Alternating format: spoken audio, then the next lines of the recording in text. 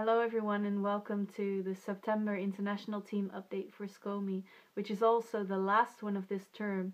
My name is Stijntje and I'm still for one more day the SCOME Director. Uh, in this update we want to tell you what we did in September but also throughout the year. So uh, we started September off with the AMEE conference, you already saw a video update of that. Afterwards we went into the AMSE conference where we talked about the quality in medical education and we have a video update from the president-elect, Professor Gordon, later on in this video update. Uh, of course, what's also very important for September was handover from me to Ahmad, your SCOME director-elect, and also from Agostinho to me as the new liaison officer. And of course, the selections for the international team that will be announced on October 1st. Um, but as I said, this is also the last video update you will see from this international team and we would like to take the opportunity to thank every single person who has worked in medical education in SCOME to try and change medical education for better future doctors. The people that participated in the events, the workshops, the trainers, the people that coordinated the small working groups. Uh, but most of all, from my side, it would be a major thank you to my international team members without whom I think we could not have called this such a successful term as we can do now. Um, so Scott, Yameen, Rasha, Ahmad, Rachel, thank you so much for everything that you did for the NMOs and for SCOME in general. Um, but also some major thanks go out to the team of officials, the dream team of officials, and from my side especially, the standing committee directors who've really helped us break down barriers between the standing committees uh, and actually get most out of our term as we could. Um, I've really enjoyed this term. Uh, I'm very much looking forward to working with IFMSA and SCOME for one more year as the liaison officer. Um, for me as the SCOME director, this is a goodbye. Um, but I have all the faith in the world that Ahmad will do an amazing job as the new director.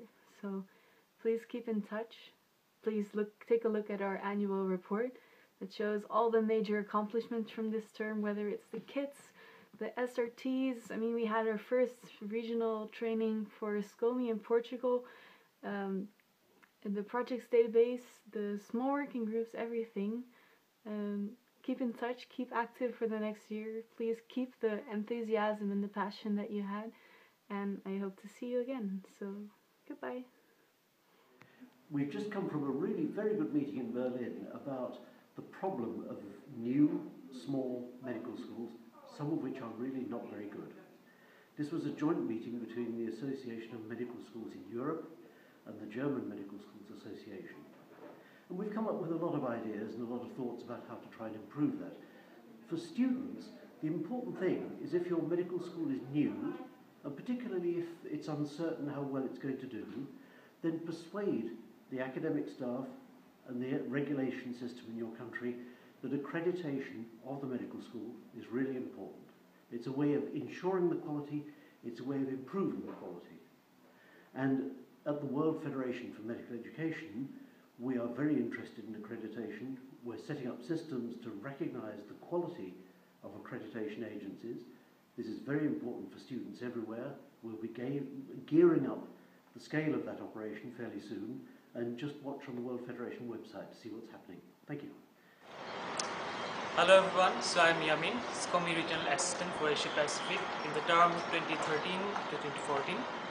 So in my term, it was an amazing experience for me uh, being regional assistant for the second time and it was really amazing to meet so many people around the world who are working in medical education and most importantly for my region that many countries have showed up their uh, interest to uh, build up, uh, to make SCOME units in their countries like China, like Australia.